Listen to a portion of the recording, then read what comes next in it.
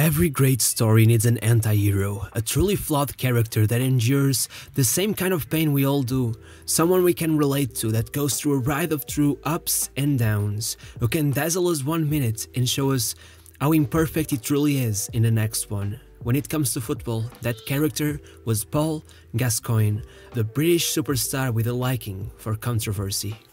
His parents named him Paul John Gascoigne after Paul McCartney and John Lennon of the Beatles, a fitting backstory for the drama-fueled life we much more often associate with the art world. Being born in a football-loving country like England, it was impossible for him not to be brought up amongst its culture. Soon, his talents would be noticed as he played for his school's football team, but as the trials kept coming, he kept being sent back. First came Ipswich Town, then Middlesbrough and Southampton, as it seemed that the kid would eventually be referred to as England's very own Diego Maradona, would not manage to find a club to play for. A new opportunity came his way, and from nowhere else than the club he loved and supported, Newcastle United. Before all of this, Gazza was what they called a problem child. He ran around the streets looking for trouble and causing it as well. Of course that his upbringing in a low-income family living in council homes and constantly moving from one city to the other did not help balance his life and make him a more stable person.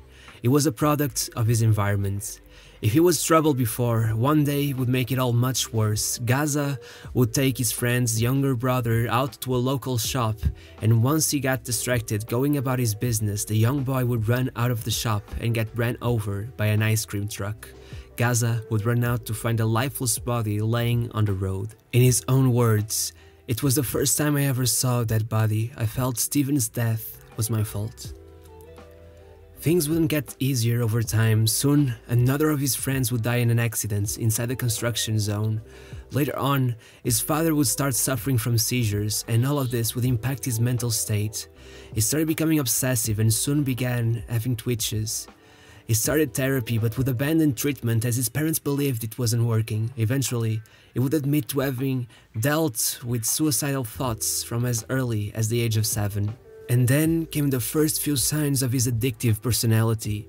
He would find out about slot machines and get so obsessed with them that he would frequently spend all his money on them and soon after, as he needed more money to keep playing, he began shoplifting. During his time playing at Newcastle's youth team, he was coached by Jack Charlton, the older brother of Bobby Charlton, who would note that Gazza was far too fat to be a footballer, telling him that he had two weeks to lose the weight or he'd be dropped from the team so Gazza started going for runs dressed in a trash bag, hoping the heat would make him lose weight faster. I mean, it actually adds up, but it's still hilarious. Of course, Gazza would make it, and soon it captained the youth squad to a FA Cup win, scoring twice in the final. His reward for these performances would come, as he would be called up for the first team for the first time.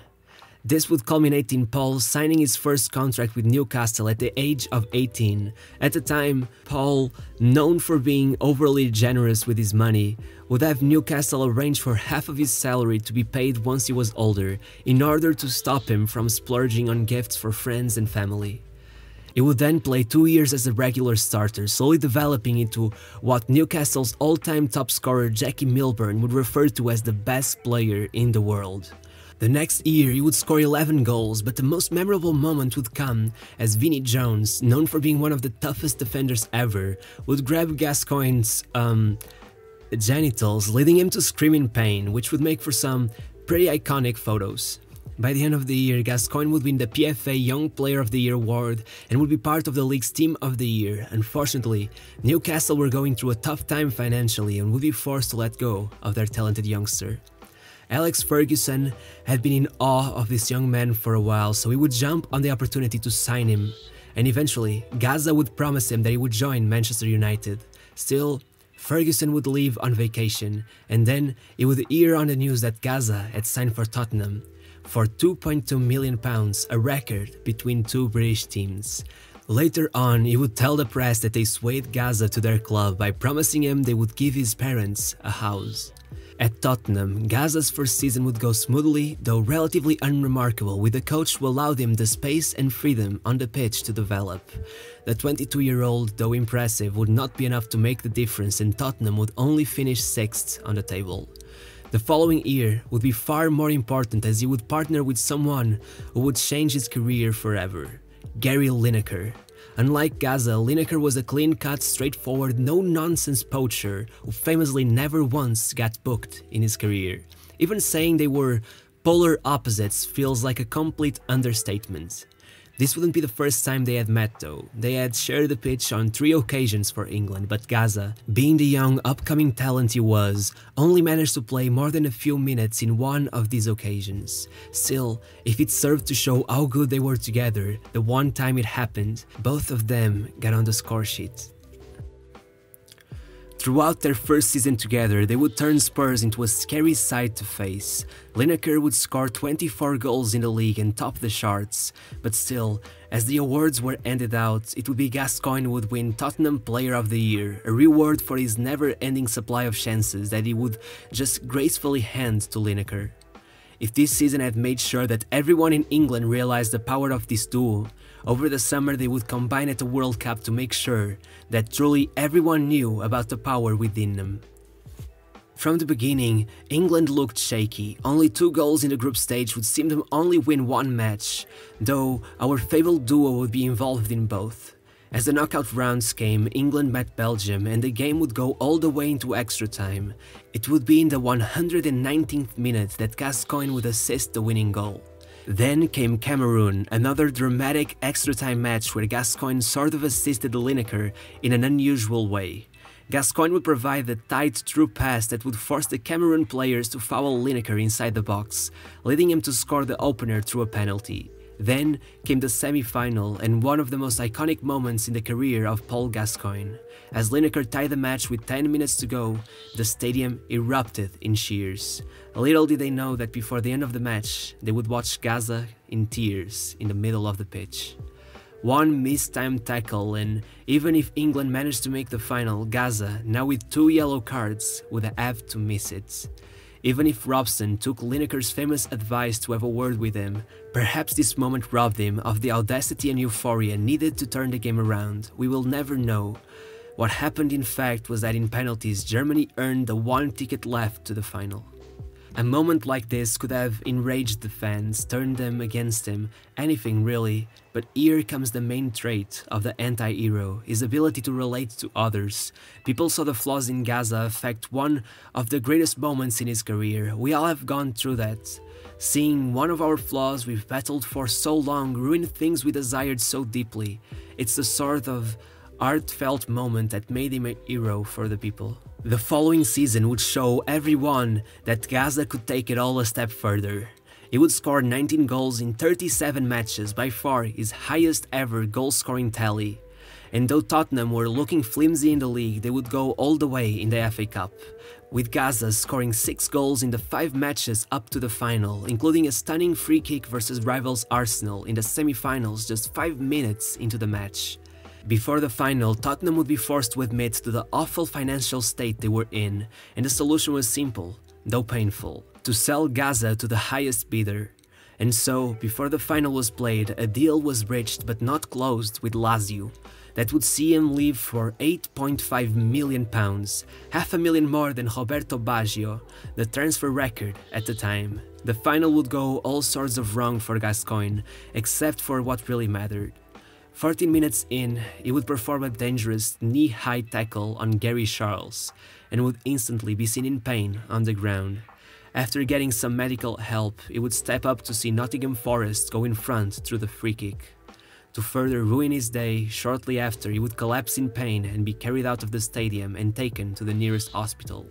Lineker would also be having an off day, but happily thanks to an own goal, Tottenham would eventually win the trophy. Bet you hadn't heard that one in a long time, huh?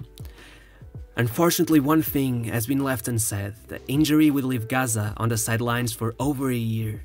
Though to be fair, an incident in a nightclub would be one of the reasons the injury ended up lasting for so long. Over this time, Gazza's story was so popular that the updates would often overshadow news about the ongoing financial crisis in English newspapers. Eventually, as he managed to come back, the deal with Lazio would be adjusted, now worth just 5.5 million pounds, making him the new English transfer record, but now being less than half of the new worldwide transfer record set by Gianluigi Lentini.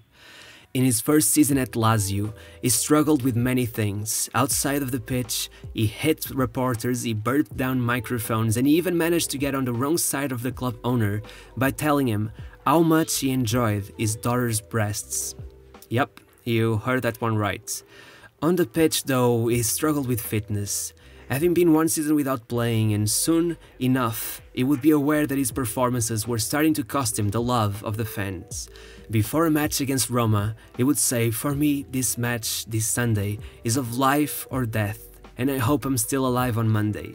And indeed would manage to perform well and earn the fans' trust once again, scoring a last minute equalizer. This game would also be notable for the reaction of the Roma fans to the English superstar, unfolding a banner which mocked his weight and throwing chocolate bars at him whenever he approached the stands. Of course, Gazza wasn't just gonna have it, so he picked one up and ate it. The following match he would score once again after an incredible Maradona-style run, getting past several defenders before slotting it in. Before the end of the season he would score another two goals that would earn his team two draws against Milan and Atalanta, which would help Lazio in their journey to an eventual 5th place finish and their first qualification for the European competitions in over 16 years. Still, this season had been troubled, as the Italian media would fail to see the charm in his eccentric behavior that the British had always seemed to enjoy. Over time, he became more and more of a target and an outcast, especially as his coach Dino Zoff began to get on the media's side. Zoff cited his reasoning for not calling up the player as due to his poor physical condition. When Gazza was asked about it, he responded by burping onto the microphone. They didn't like that either. It seemed Gazza was one knock away from derailing at all times, and then it came as his ex personal assistant published a book telling everyone his deepest secrets, including the fact that he'd been suffering from bulimia for a while then. Gazza felt he couldn't trust anyone and became even more paranoid with the media.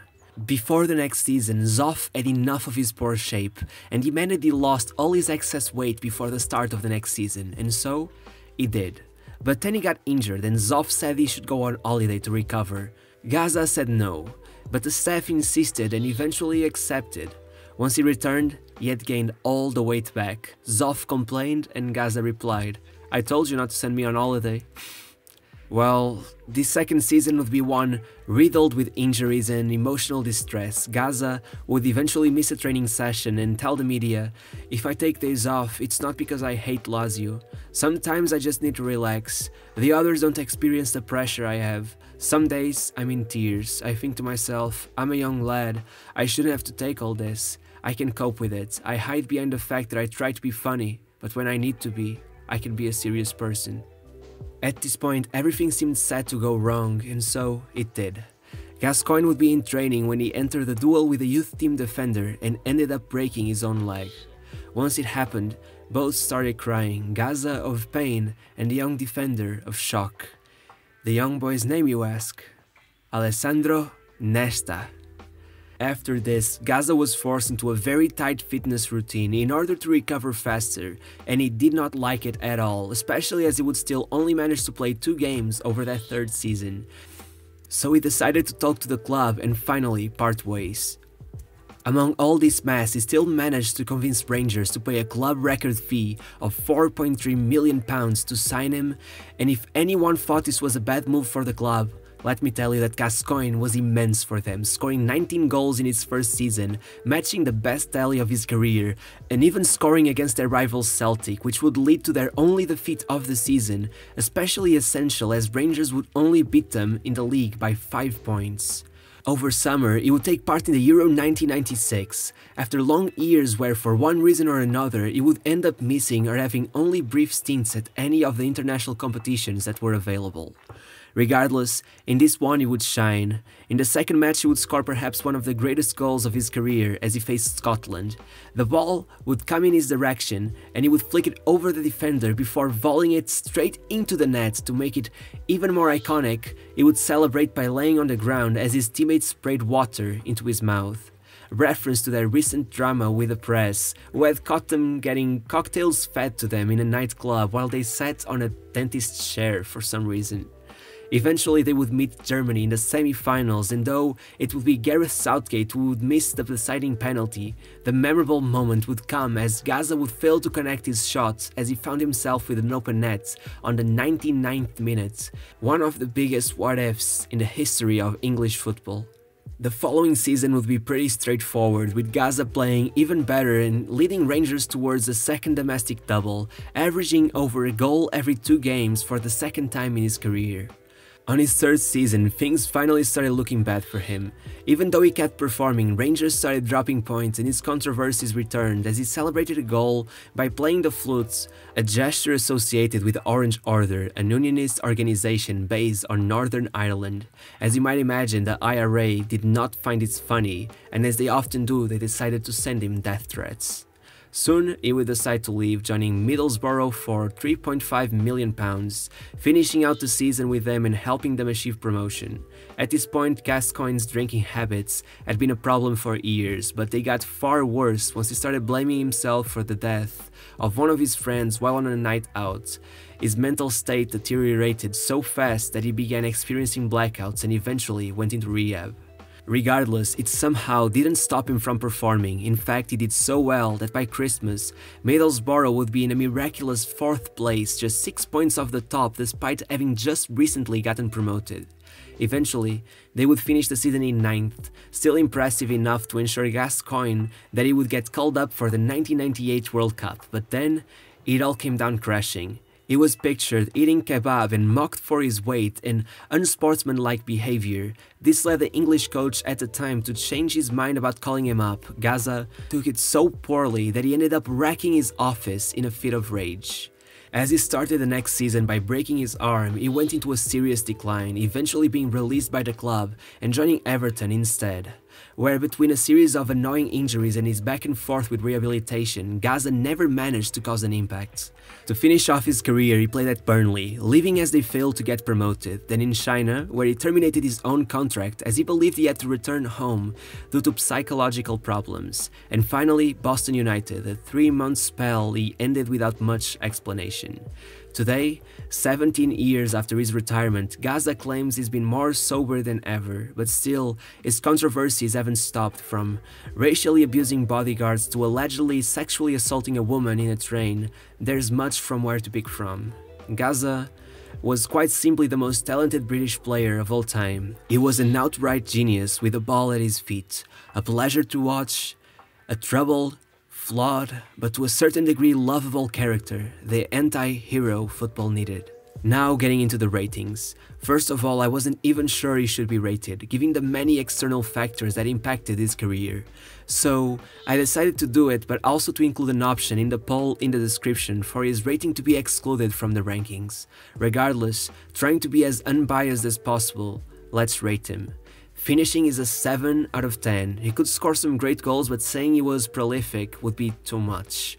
Playmaking was a 9 out of 10. He was amazing, but not the perfect playmaker. Dribbling was exceptional, mesmerizing to watch at times, a 10 out of 10. At his prime, speed and physicality was a good mix, but considering he had some serious weight gain issues at times, I can only give him a 6 out of 10. Mentality was something he clearly struggled with, and though most of his issues came from his troubled childhood, I can only give him a 6 out of 10.